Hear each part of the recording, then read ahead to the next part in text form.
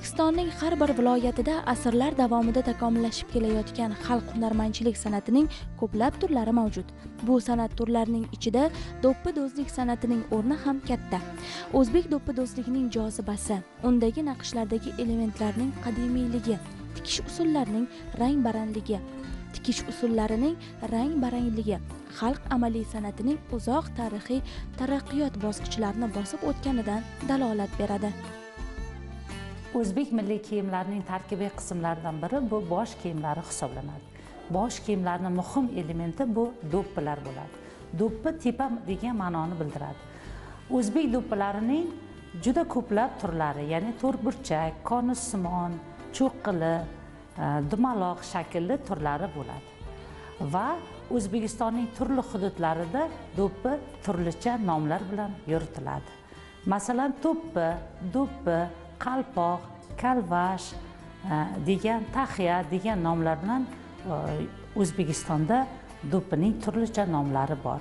Endi do'ppini xususiyatiga keladigan bo'lsak do'ppi o'zbek milliy kiyimlarining o'ziga xos bir unutilmas qadriyat sifatida bugungi kungacha ma'lum bir tarixiy taraqqiyot davrini bosib o'tgan.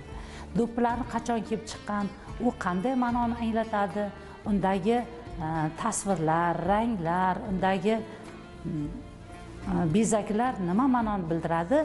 Bu o'ziga xos etnografik etnik xususiyatlarni ko'rsatib o'tadi. Yana shu o'rinda ta'kidlab o'tishimiz kerakki o'zbek do'ppilarida xalqning xo'jalik faoliyati etnik xususiyatlari uning ijtimoiy mavqei va faslbopligini ham kuzatish mumkin. Yurtimizdagi toshkent chust buxoro samarqand boysun shahrisabz do'ppilari xalq orasida mashhurdir. Deyarli barcha viloyatlardagi do'ppilar tikiladi va kiyiladi. O'tgan asrlar mobaynida bu bosh kiyimning turli xillari va shakllari vujudga kelgan. Do'ppilarning asosiy xomashyosi sidirg'a materiallar ya'ni baxmal satin shoyi ip ipak bo'lgan. Mana shu matolarga gul bezak berish tikilishi bilan bu hududlarga xos o'ziga xos xususiyat aks etadi. Do'ppilar boshdan tepada turadi. U shunaqa bir qadriyatki xalqimiz orasida mana shu do'ppiga bo'lgan hurmat bugungi kungacha yo'qolmadi. Mana shu bir ma'lum bir tarixiy taraqqiyot davomida do'ppilar o'zini xususiyatini yo'qotmadi. Shu o'rinda savol tug'ilishi mumkin. Uni tarixi qayerga borib taqaladi?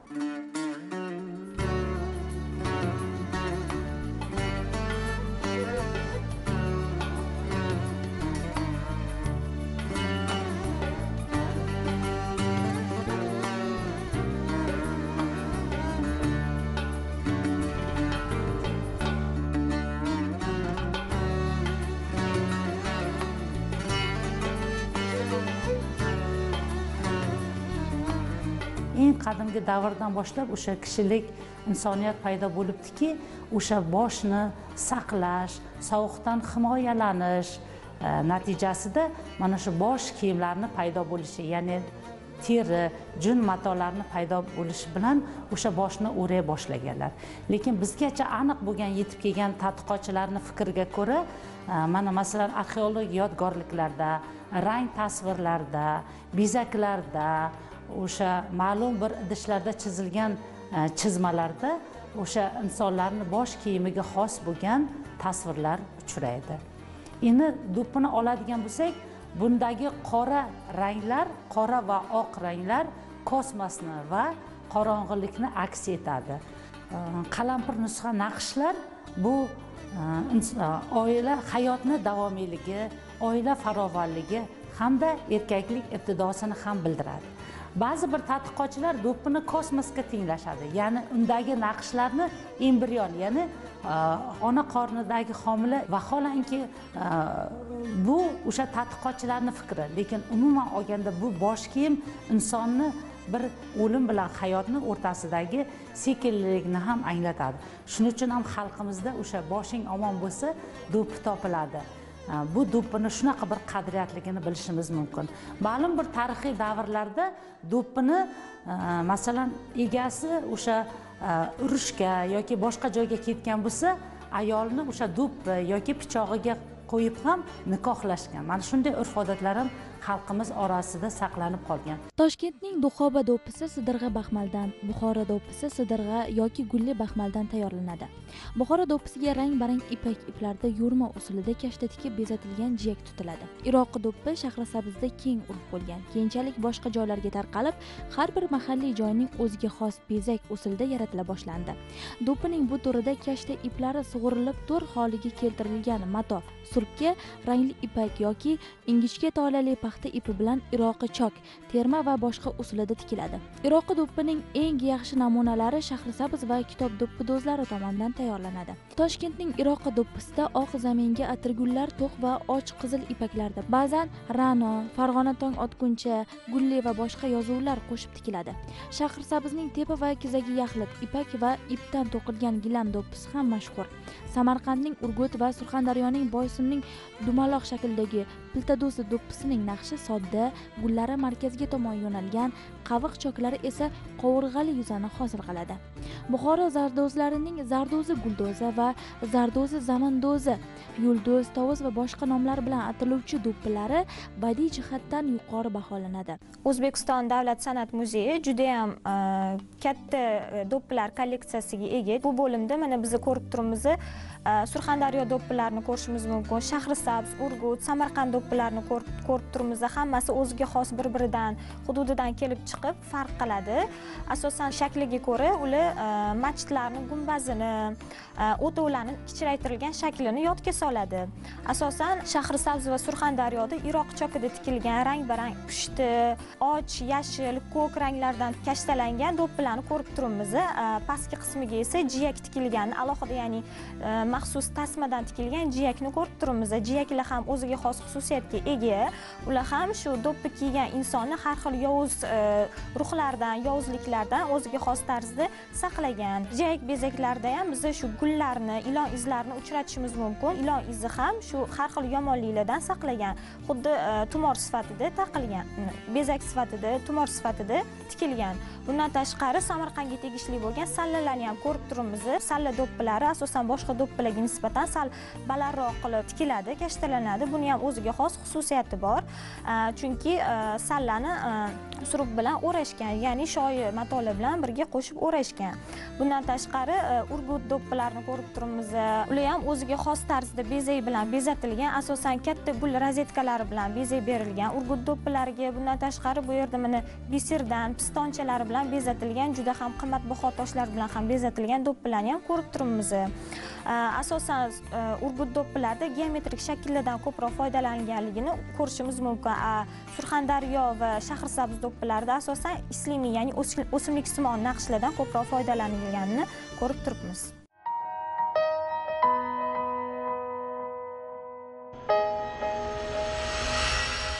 O'n to'qqizinchi asrni oxiri yigirmanchi asr boshlarida e, do'ppi dastlab o'sha ayollarni cho'qsimon konusimon quloq va turli ko'rinishdagi Э, bosh kiyimlari ko'rinishida ko'rgan bo'lsak yigirmanchi asrning yigirmanchi yillaridan boshlab ayollar bevosita ayollar kiyimi sifatida o'ta boshladi bu nima bilan bog'liq? Bu o'sha tarixiy taraqqiyot davomida hujum harakati ya'ni paranjini tashlash bilan bevosita ayollar boshiga do'ppi kiyish ommalashib ketdi. Va o'ttizinchi qirqinchi yillarga kelib bu ma'lum bir davrda ozgina chekinishga ham uchradi. Yigirmanchi asrning oltmishinchi yetmishinchi yillariga kelib e, o'sha o'ttizinchi yillardan boshlab qoralangan eskilik sarqiti sifatida e, qat'iy qarshilikka uchragan do'ppilar asta sekin iste'moldan chiqa boshladi va faqatgina muzey ekspozitsiyalari sifatida o'rin oldi. Va o'sha paytda do'ppilarni e, ishlab chiqarish ham mexanizatsiyalashib ketdi. Ya'ni texnik usulda qog'oz do'ppilar ishlab chiqa boshladi. Lekin shunaqa bo'lishiga qaramasdan o'sha do'ppilar maxsus e, ko'rinishini saqlab ya'ni shaklini o'sha to'rtburchak holdagi e, shaklini saqlab qoldi. Mana shu to'rtburchak e, holdagi do'ppi dunyoning to'rt tomonini bildiradi degan xalq orasida xalq dunyoqarashida tasavvurda mana shunday tushunchalar yotadi. Qizlar e, yoshligidan bolaligidan onasi momolari e, buvilari bilan birgalikda do'ppilarni tikib maxsus tayyorlashgan. Va shuning uchun ham do'ppini bu yosh tabaqasida ham ajratishimiz mumkin. Chunki mana masalan toshkentda o'sha initiatsiya davri qizlik do'ppi kelinlik do'ppisiga almashtirgan holatlari ham bo'lgan. Bu ma'lum bir marosim asosida amalga oshirilgan. Bu esa o'sha kishi e, do'ppiga qarab kishini yosh mavqeini e, anglatishi mumkin.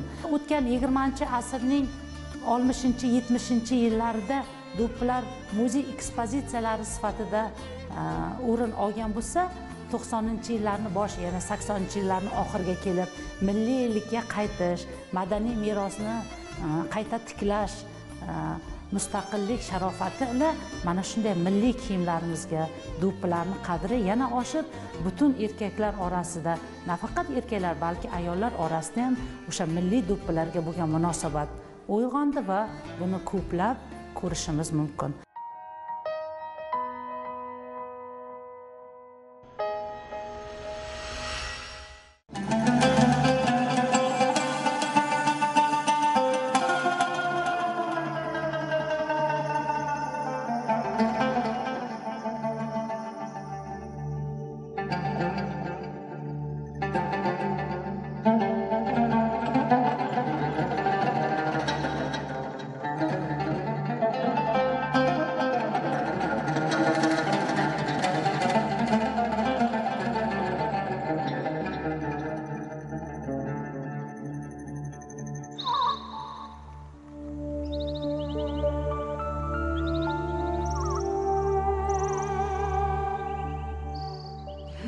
Tikishda har bir hududning o'ziga xos uslubi an'anasi va bezaklari mavjud.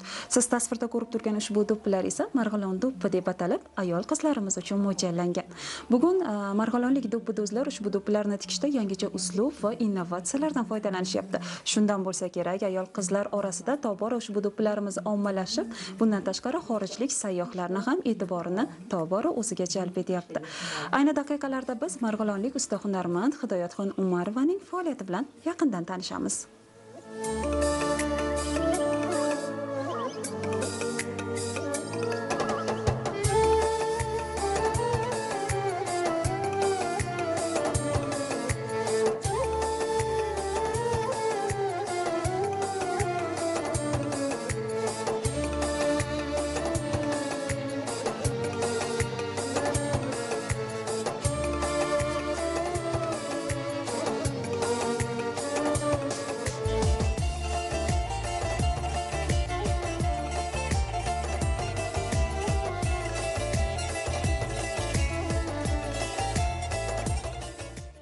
Hidoyat opa bu do'ppilarni ko'ring. Buni aynan tikishni boshlaganingiz necha yoshda edingiz tikishni boshlaganingizda? Tikishni boshlaganimizda shu o'n yasharligimizdan boshlab shu onalarimizni momolarni oldida o'tirib biz do'ppini o'rganganmiz. Keyin yoshimiz katta bo'lganda mustaqil o'zimizdan tikkanmiz. O'sha davrlarda kuyovga tegadigan qizlar do'ppilarni faqat o'zlari tikishardi. Endi aynan mana shu do'ppilarga e, bir yaratishga hunarmand bo'lishga qiziqish sizda qachondan boshlandi? Bu yillar mobaynida ko'p tashkilotlarda ishladim.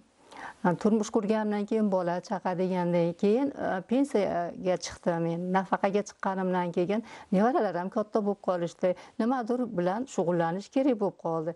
Keyin bir kuni o'ylab o'tirayotdimki yoshligimdagi o'sha hunarimni yana qilsam bo'lmaydimi?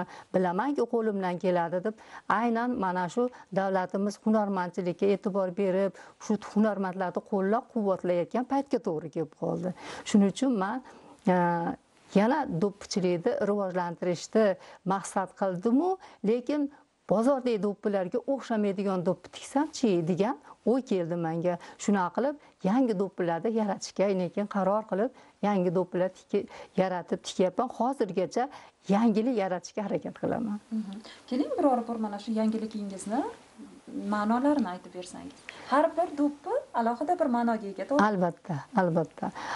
Hozirgi e, do'ppi aynan mana shu hozirgi e, butun dunyo mana shu pandemiyaga qarshi kurashayotganga bag'ishlangan do'ppim bu. Chunki mana butun dunyoni bayroqlarini bitta do'ppiga mujassam qilganmi sababi ham shunda o'zi. Hamma davlatlarimiz faqat mana shu kasallik bilan kurashyapti. Shuning uchun ifodalovchi do'ppi yaratganman. Bevosita bu do'ppini ko'rganda xorijiy sayyohlar ham qiziqishi ortadi. Albatta. O'z bayrog'ini ko'rgandan keyin sotib olgisi keladi sovg'a qilgisi keladi kimgadir to'g'rimi? Albatta. Xorijiy sayyohlarda ham bir qiziqish baland bo'lsa kerak sizni do'ppilaringizga nisbatan. Albatta. Hunarmandlar uyushmasiga menga bitta xona qilib berishgan o'sha xonada o'tirganimizda sayyohlar kelishadi. Bir italiyalik ayol keldi ikkovimiz do'st bo'lib qoldik. Ular ketdilar hozirgacha telegramda yozishib turamiz. O'sha italiyadagi jurnalda mani rasmimni chiqarib maqola chiqarganlar keyin menga yubordilar ko'rdilar ko'rdik haligini rosa xursand bo'lib rahmat aytdim. Xuddi shuni singari yaponiyadagi ham bitta tanishim bor. U kishi ham mana shu o'zbek do'ppilariga juda ishqibozlar. Judayam man g'ururlanamanki mana shunday jannat makon yurtda tinch yurtda tug'ilib qolganimdan endi bugun aynan yosh qizlarimiz orasida ham do'ppi tikishda qiziquvchilar ko'p bo'lsa kerak yoki uni xarid qilishga qiziqayotganlar ko'p bo'lsa kerak to'g'rimi? Albatta. Shogirdlar endi asosiysi o'nta lekin boshqa shogirdlar ham kelib turishadi. Asosiy qatnashadiganlari o'nta.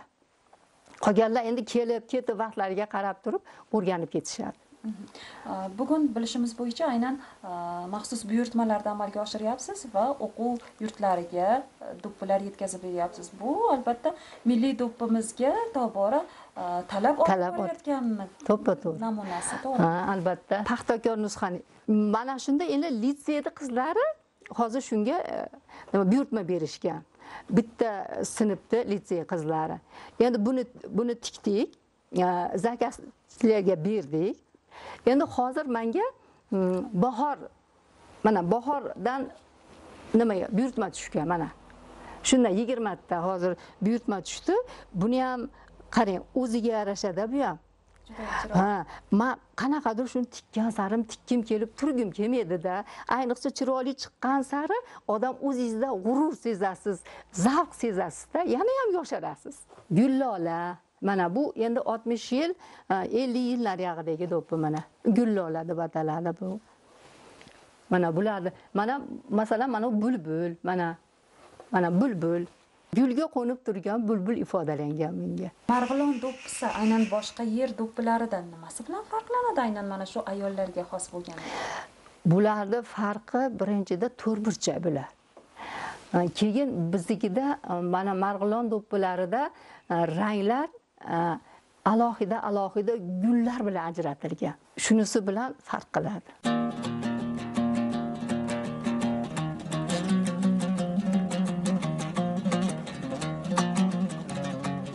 Ayollar do'ppilarining o'ziga xosligi qadimdanoq yorqin ranglari bilan naqsh gullarining nozikligi va go'zalligi bilan ajralib turgan. Bezaklarning ko'plab kompozitsiyalari mavjud bo'lib ular avloddan avlodga o'tib doimiy ravishda yangilanib borgan. Do'ppilarni bezatishning boy tizimi xalqning ma'naviy hayoti xulq atvori va poetik dunyoqarashi bilan uzviy bog'liqdir.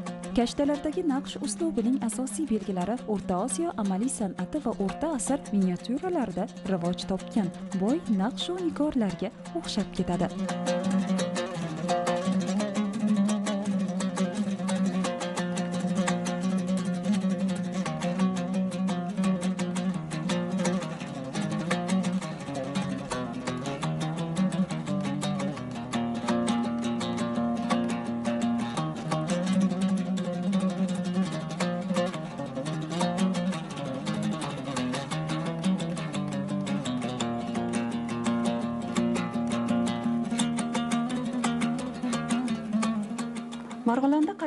Restoranga bormang. Ayollar bo'sh vaqtlarida do'ppido'zlik bilan mashg'ul ekanliklariga guvoh bo'lasiz. Shundan bo'lsa kerak ko'plab yoshlar do'ppido'zlikning sir asrorlarini yaxshi bilishadi.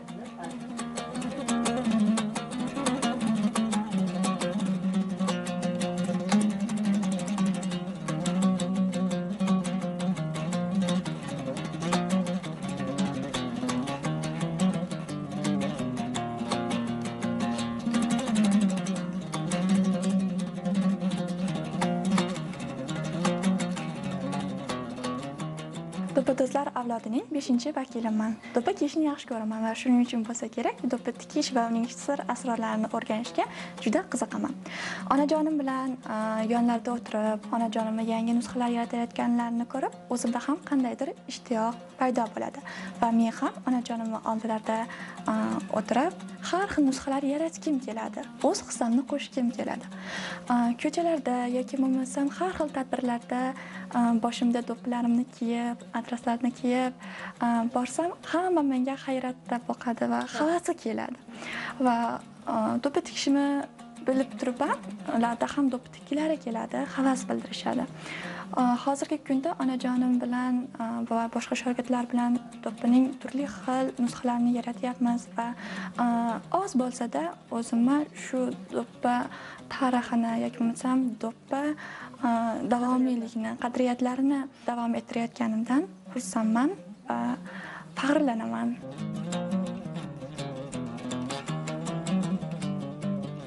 Do'ppi tikdim ipaklari tillodan tillodan. Ipaklari demang zari tillodan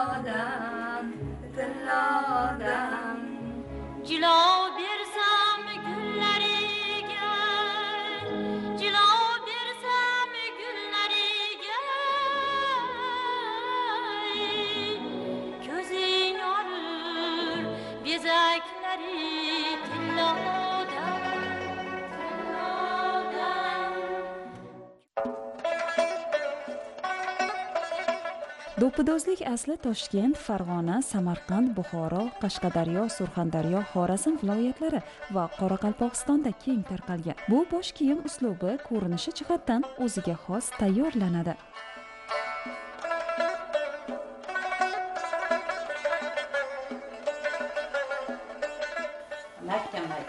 Yaxshi yaxshi ushlasalaring o'zlaringga qizim marg'ilon do'ppining yana bir turi erkaklar uchun mo'ljallangan bo'lib u mana shunday ko'rinishga ega. Marg'ilondagi mamajonovlar xonadoniga kirib kelsangiz oila a'zolari ayollarning barchasi mana shuni yaratish bilan tikish bilan band ekanligiga guvoh bo'lasiz. Ayni daqiqalarda demak ushbu do'ppini o'ziga xosliklari nimalardan iborat? Hunarmandlardan bilib olamiz. Hunar. Kim hunar beribdi deyishadi vaqti kelganida nasiba opa demak hozir siz aynan do'ppi tikishda qaysi jarayonlar bilan bandsiz?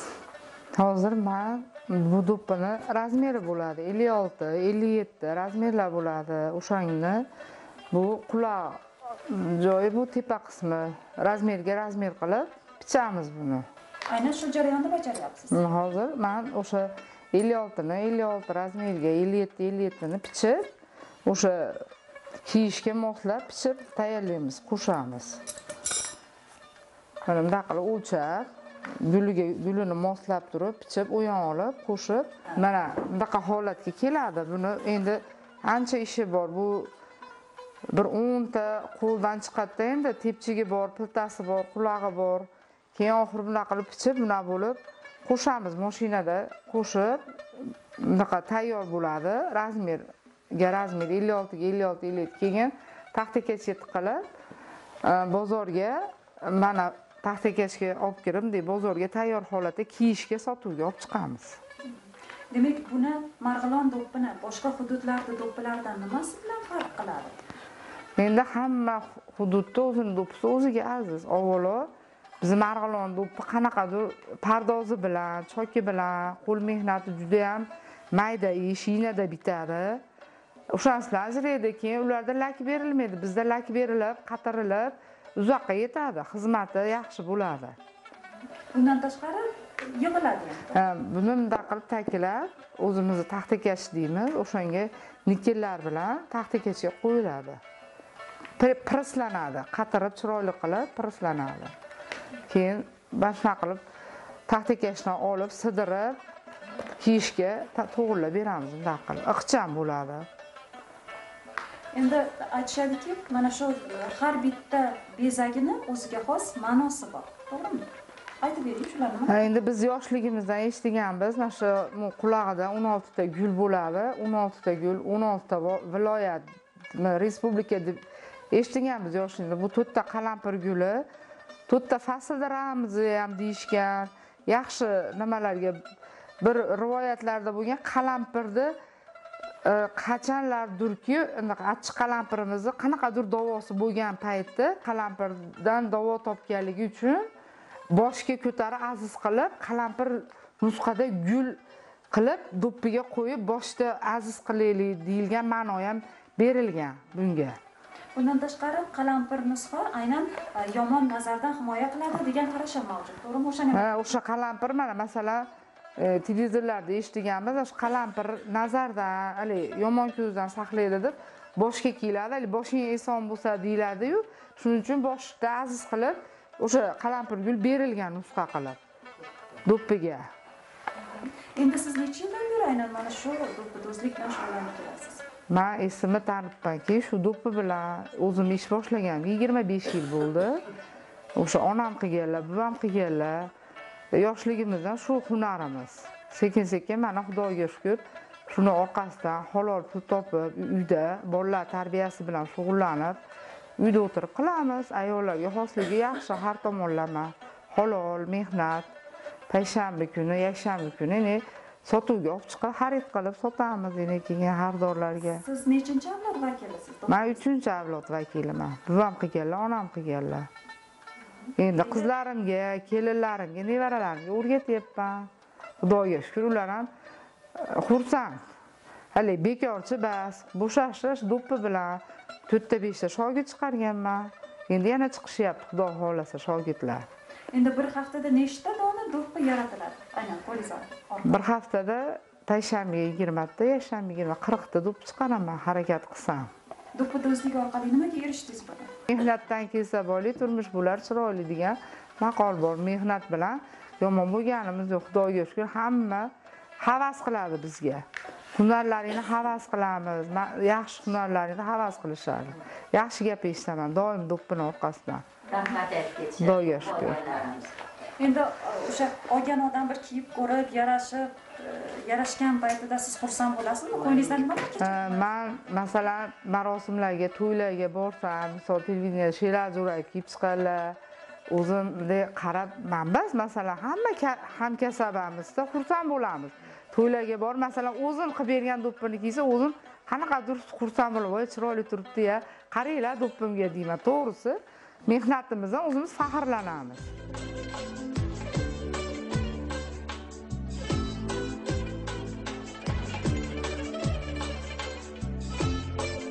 An'analar umrboqiyligi hunarmandchilikda yangi vorislar kamol topishiga ham bog'liqdir. Do'ppidozlik ham avloddan avlodga o'tar ekan har avlod unga yangilik qo'shadi. Har avlod unda o'z hayotiy falsafasini muhrlaydi. Asosiysi u sayqal topib saralanib davom etaveradi.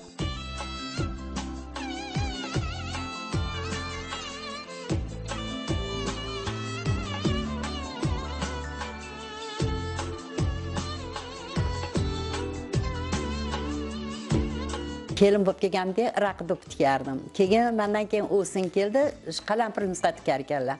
Shundan ta'lim olib shu kelin o'rgatdi o'sini o'tib shu do'ppini boshladim. Tikdim oldim. Bozorga olib chiqsam qandaydir manga haligi do'ppirishlar nimaga do'ppi kelganlar nima qilishardi? Siz ham do'ppirishmisiz siz palonchiga o'xshatyapsiz deyishardi. Shu bilan man qanaqadir saksoninchi yil eng oldi o'n yetti so'mga shu qo'limda tikib borardim shu qalampir tikardim. o'n yetti so'mga chiqqanman birinchi oldi bo'lgan shu do'ppiga shunaqa mehr berib o'rganib kam bo'lmadim. Toshkentga do'ppi qilishni boshladim. Toshkentga do'ppi olib boraman. Atga sotkali unga laksiz. Toshkentda ko'k chuqur do'ppi. Keyin ini o'rtoqlarim so'ydiki yo'q bo'lmaydi san mana do'ppimizni qil de- qayt orqangga deyishdi ha dedim. Keyin mana shunga o- kam bo'lmadim. Shu do'ppini oldim. Mehnatingizni rohati baraka xayri bor ekan erimni yoniga kirdim. Bolalarni oltita farzandni uylab joylab mana yuribmiz kelinimga hunarimni berdim. Xursandman shu kelinim olganiga shu o'sinlarim kelinlarim bilan birga yurishganiga xursandman man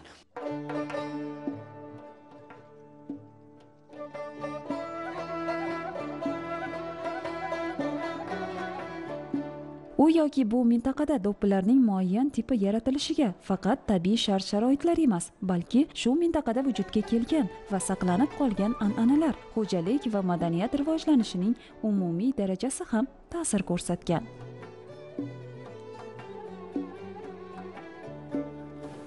Tarixni kuzatsangiz xalq amaliy san'atining eng yorqin eng ommalashgan turi bu do'ppidozlik ekanligiga guvoh bo'lishingiz mumkin. Aynan qo'qon shahrida joylashgan xalq amaliy san'ati muzeyiga tashrif buyursangiz bu yerda aynan do'ppidozlikda foydalanilgan tarixiy qoliplarga guvoh bo'lasiz va bundan tashqari tarixiy do'ppilar ham ushbu muzeydan o'rin egallagan. Aynan mana shu siz tasvirda ko'rib turgan do'ppilar aynan e, o'n to'qqizinchi yigirmanchi asrlarga taalluqli bo'lib bu yerda ayollar uchun va erkaklar uchun alohida vitrinalar tashkil qilingan va e, bu yerda o'ziga xos ranglar o'ziga xos shakllarni uchratishingiz mumkin.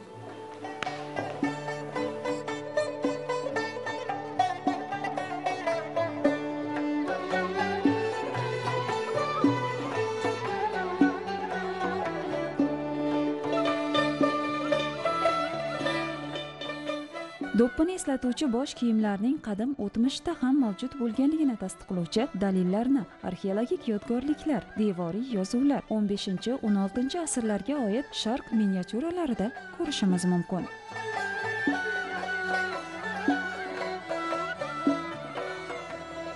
Milliy liboslarimiz haqida gap ketar ekan. Umuman milliy liboslarimizning ajralmas qismi bu milliy do'ppilarimiz hisoblanadi. Do'ppilarimiz ayniqsa ayollar do'ppilari o'zining nafisligi nozikligi bilan hamisha hamma vaqt juda ham ahamiyat kasb etgan ajralmas tarkibiy qismi hisoblanadi liboslarimizni do'ppilar tarixiga bevosita nazar tashlaydigan bo'lsak ayollar va erkaklar do'ppilari bir biri bilan ranglari bilan jilosi bilan ularni bezaklari bilan ajralib turgan. Qadimda esa erkaklarimiz ham ayollar kabi iroqi rangli usulda tikilgan kashtalar bilan qoplangan do'ppilardan foydalanganlar. Э, vaqtlar o'tib sekin astalik bilan bir ming to'qqiz yuz oltmishinchi yillarga qadar rangli do'ppilar erkaklar orasida ham urfda bo'lgan va oltmishinchi yillardan keyin sekin astalik bilan ranglar o'z ahamiyatini yo'qotib erkaklar do'ppilari faqat oq qora tusga ega bo'lib qolgan. Oq qora do'ppilar nafaqat oltmishinchi yildan keyin balki undan avval ham o'zini ahamiyatiga ega bo'lgan. Rivoyatlarga qaraganda qo'qon xonligi amir umarxon davrida amir umarxon juda ham yosh vafot etib o'rniga nodira begim ya'ni ham malika ham shoira sifatida qo'qon adabiy muhitda o'ziga xos o'ringa ega bo'lgan shoira nodira begim komila va maknuna taxalluslari bilan ijod etgan nodira begimni hayotida do'ppilar tarixi alohida ahamiyat kasb etadi. Rivoyatlarga ko'ra nodira begim amir marxondan beva qolgandan keyin juda ham yosh beva qoladi nodira begim. Ularni sevgi tarixi juda ham chuqur bo'ladi. Ham shoh ham umr yo'ldoshi sifatida nodira begim amir umarxonga butun umrini baxshida qilgan malika hisoblanganligi sababli shunday farmon etarkanlar ya'ni ey hunarmandlar ya'ni qo'qonda hunarmandlar azaldan juda yam ma'lum va mashhur bo'lgan va butun hunarmandlarni saroyga to'plab ularga shunday murojaat etar ekan malika shunday bir narsa yaratinglarki man uni har ko'rganimda hayotimdan keyingi motam azza ramzi aks etsin deganlarida hunarmandlar turli xil buyumlarni ishlab chiqarib o'ylab topib olib kela boshlar ekanlar. Va shularni ichida ayniqsa hunarmand do'ppi do'zlar tayyorlangan do'ppi nodira begimni Э, e'tiboriga sazovor bo'lar ekan. Ya'ni bu bugungi kungacha yetib kelgan oq qora do'ppilar. Ya'ni do'ppilarimiz erkaklarni do'ppisi e, tag qismi ya'ni foni qora e, va yuzidagi nusxalari esa oq tasvirga ega va bunda ayniqsa qalampir nusxa tasviri alohida ahamiyat kasb etadi. Ya'ni buni qora tasviri e, tundek qora hayoti nodira begimni qalampir nusxasi esa qalampirdek achchiq qismatim degan mazmunga ega bo'lgan ekan. Demak bu bir muncha balkim har bir rivoyatni tagida ma'lum darajada haqiqat yotishidan darak beradi. Bugungi kungacha mana bu qalampir nusxa do'ppilarimiz o'zini ahamiyatini yo'qotgani yo'q. Ayollarimiz orasida esa iroqi do'ppilar juda yam mashhur bo'lgan nozik do'ppilar e, va baxmal do'ppilar juda ham mashhur bo'lgan. E, erkaklar do'ppiga yana qaytadigan bo'lsak e, do'ppilar dastlab chuqurroq bo'lgan. Chunki ular sallalar bilan o'ralgan. Ya'ni o'sha yigirmanchi asrni boshiga qadar do'ppilar o'zini chuqurligini saqlab qolgan. Va yigirmanchi asrdan keyin bu sallalar urfdan chiqqandan keyin do'ppilarni e, eni E, kichraya boshlagan va kichik hajmga ega bo'lgan. Va o'z navbatida o'sha yuqorida aytganimizdek ranglari ham sekin astalik bilan kamayib borgan e, va bir ming to'qqiz yuz oltmishinchi yildan keyingi do'ppilarimizda deyarli har xil ranglarni erkaklarni do'ppilarida uchratmaymiz. Ayollarimizni do'ppilari esa hamisha hamma vaqt o'zining betakrorligi bilan nafisligi bilan juda ham ko'rkamligi bilan alohida ahamiyat kasb etgan. Ayniqsa yosh qizlarimiz mm, do'ppilarni foydalanishganda kamalakni yetti xil jilosiga ega bo'lgan bu do'ppilar ularning chiroyiga chiroy ko'rkiga ko'rk qo'shib kelgan. Muzeyimiz amaliy san'at yo'nalishi bo'lganligi sababli aynan hunarmandchilikning eng yorqin turlarini ko'rsatishga harakat qilganmiz ekspozitsiyalarimizda ekspozitsiyamizdan o'rin olgan ajoyib eksponatlardan biri qadimgi kolleksiyalardan biri bu do'ppi qoliplari. Do'ppi qoliplari maxsus yog'ochlardan ishlangan bo'lib hunarmandlar tomonidan juda ham chiroyli naqshlar tasviri tushirilgan. Bu qoliplar ham ayollar ham erkaklar do'ppilari uchun. Ma'lumki hamma ham surat yoki rasm chizishga usta emas. Qoliplardan foydalanishdan asosiy maqsad juda ham chiroyli naqshlarni bir chizishdayoq chiqarish. Ya'ni ularni do'ppini matosiga dastlab bosib tushirib olingan rangga botirib ana undan keyin ustidan tayyor naqsh ustidan e, ip bilan choklab chiqilgan. Ya'ni o'sha iroqi uslubidagi do'ppilarimizda yoki qalampir nusxa do'ppilarimizda bodom nusxa do'ppilarimizda ham e, qoliplardan oqilona foydalanganlar.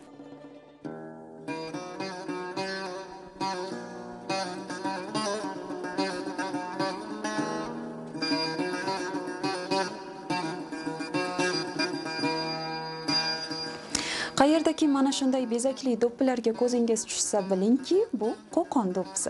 Aytish mumkinki farg'ona vodiysida tayyorlangan do'ppilar kelib chiqishiga ko'ra dastlabki do'ppilar hisoblanadi va tarixiy yulduzlarga ega xususan qo'qon do'ppisi ham.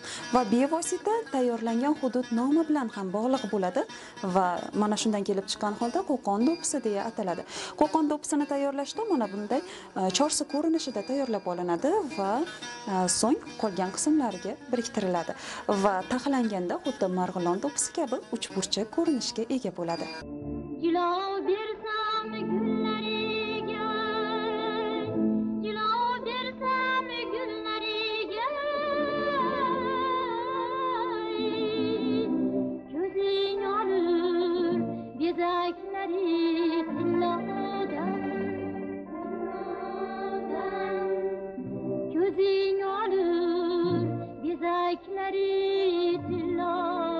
ma'lum bir davrga do'ppilar unutilgan bo'lishiga qaramasdan e, qishloqlarda tumanlarda chekka shaharlarda do'ppini kiyish odatdan qolmagan. Chunki do'ppini shunaqa bir milliy kiyim sifatida bugungi kungacha qadriyat sifatida qadrlab keladi. Mana shu narsa bizni e, o'ziga xos bosh kiyimlarga bo'lgan hurmat e'tibor izzatni bildirgan. Chunki e, o'sha do'ppi e, tadqiqotchilarni aytishiga qaraganda ilohiy bir homiylar bilan bog'liq. Ya'ni boshimizdan balandda turgan narsa bir insonga e, o'sha ongini zakovatini tafakkurini ravon bo'lishi uchun boshni saqlash uchun ham o'ylaymanki berilganligi va mana shunaqa murakkab bir geometrik tuzilishga egaligini ko'rishimiz mumkin asosan do'ppidagi barcha narsa insonni himoya qilishga qaratadi ya'ni butun tashqi ta'sir yovuz kuchlardan himoyaga qaratiladi chunki insoniyat paydo bo'libdiki uni har bir narsa har bir undagi belgi albatta bu kiyim elementi sifatida insonni himoya qiluvchi bir qadriyat sifatida bugungi kungacha saqlanib qolgan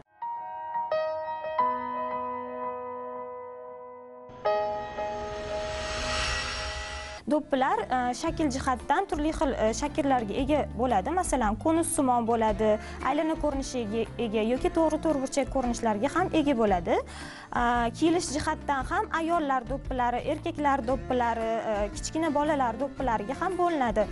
Masalan erkaklar do'ppilari asosan to'q ranglardan foydalanilsa ayollar do'ppilarida ko'proq yorqin ranglardan foydalanishgan.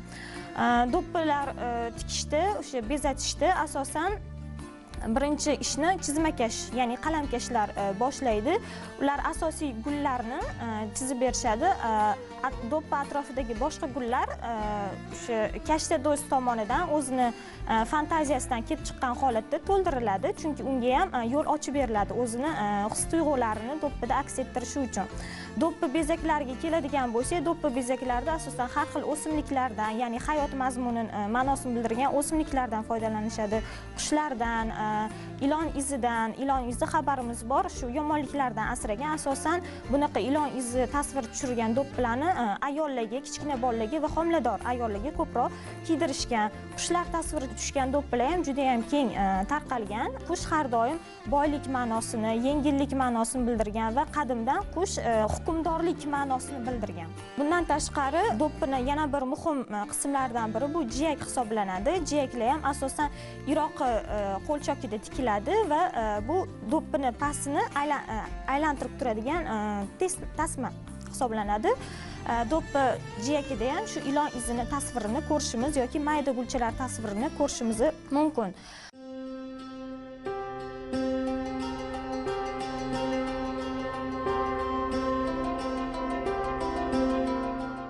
Do'ppini paydo bo'lishi bu maxsus qalamkash chizmakashlar tomonidan dastlab do'ppi chizib beriladi.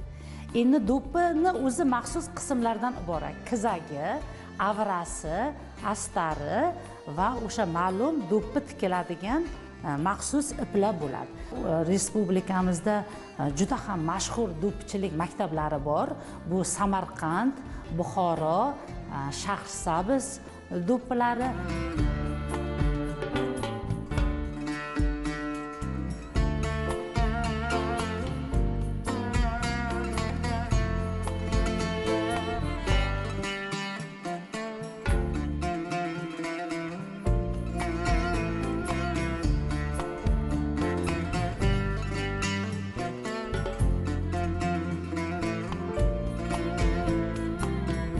Yana bir narsani aytib o'tishimiz kerak. Bugungi kunda hunarmandchilik rivojlanayotgan bir paytda e, sharqiy osiyo janubiy osiyo markaziy osiyo davlatlarida Э, bir qancha davlatlarda mana shu hunarmandchilik mahsulotlarini sotadigan do'konlar paydo bo'ldiki bu albatta eng to'ridan joy olgan bu o'zbek do'ppilari hisoblanadi. Biz yuqorida aytib o'tdik o'zbek do'ppilari e, kishilarni ijtimoiy mavqeini belgilagan deydi va e, o'sha odamlar to'yda marosimlarda urf odatlarda do'ppisiga qarab ham uni to'rga o'tkazish yoki do'ppisiga qarab murojaat qilish mana shu narsadan qolgan. Keyin o'sha kizagi dedik. Masalan qiz do'ppini kelin do'ppidan qanaqa ajratish mumkin bo'lgan? Bu qadimdan agar tarixga nazar tashlaydigan bo'lsak biz juda o'ziga xos e, tarixiy urf odat marosimlarimizga egaki masalan qiz do'ppilarda o'sha popuk qo'yilishi bilan kelinlar do'ppisidan ajralib turgan. Endi bugungi kunda do'ppilarni juda ko'plab dizaynlar ishlab chiqarishi bilan do'ppilarda o'zgarishlar ko'p bo'lib ketdi. Lekin shunday bo'lishiga qaramasdan do'ppilarda o'sha nafis o'simliksimon naqshlar geometrik naqshlarni saqlanib qolishi ularni balki katta kichikligi shakli ko'rinishi o'zgargan bo'lishi mumkin. Lekin insonni tushunchasi dunyoqarashida tasavvurida do'ppi hamon o'sha bizning o'sha kiyimimizning muhim element sifatida saqlanib qoldi desak mubolag'a bo'lmaydi. Albatta har bir hozir zamonaviy shahardami qishloqdami tumandami olis bir tog' hududlaridami olib qarasangiz bironta to'y marosimi yoki dafn marosimlarini do'ppisiz tasavvur qilib bo'lmaydida va do'ppini umuman yakdil so'z bilan aytish mumkin har bitta urf odat marosimni belgisi sifatida ham olib qarash mumkin. Ushbu milliy bosh kiyimi boshqa san'at turlari kabi ma'lum bir joyga mansubligi bilan muhim ahamiyat kasb etadi. Do'ppi tikishda har bir hududning o'ziga xos uslubi yo'nalishi hamda bezatilishida tikish yo'llari mavjud. Do'ppining iroqi chust do'ppi gilam do'ppi chakma to'r qizilgul piltado'zi zardo'ppi to'ldirma deb nomlanadigan xillari keng tarqalganki ushbular haqida keyingi ko'rsatuvlarimizda alohida va batafsil ma'lumot berib o'tamiz.